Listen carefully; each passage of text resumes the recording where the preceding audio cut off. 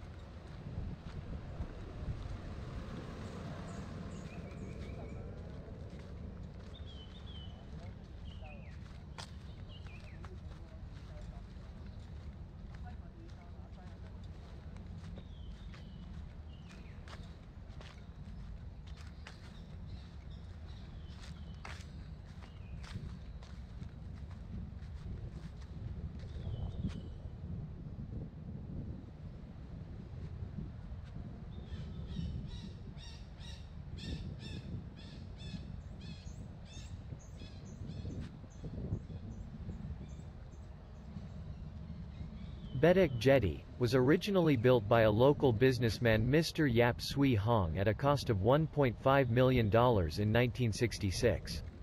He did this to facilitate the importation of scrap metal from the Americans who were engaged in the Vietnam War at the time. It was built in the reclaimed land of East Coast under the East Coast Reclamation.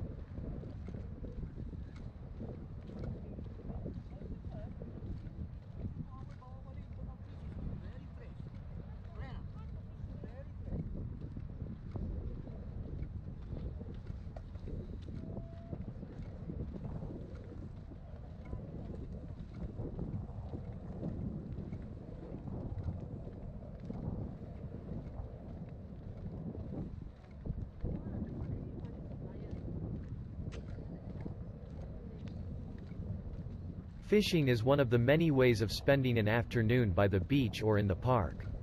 Did you know that one of Singapore's most beloved parks also houses a popular fishing location? Bedok Jetty, a popular angling spot, is but a short jaunt away from the city centre and its accompanying rat race.